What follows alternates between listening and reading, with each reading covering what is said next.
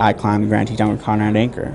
I mean, surpassed anything, any expectation that I ever had of, of myself. I had an opportunity to represent South Africa um, surf sailing and left university right before I graduated so I could go around the world and be a, a sportsman. I just grew up around a whole imagination world of adventure.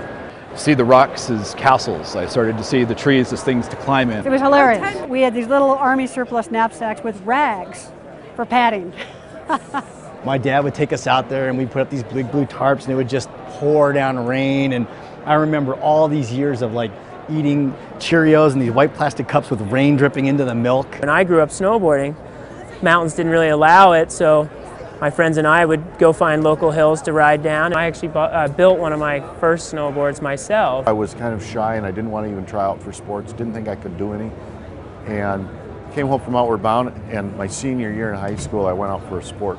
First time in my life. So it gave me that confidence. When I was a young kid and, and discovered climbing for the first time and it was like love at first sight, I think it really is an important thing in life to have something that you that you're passionate about.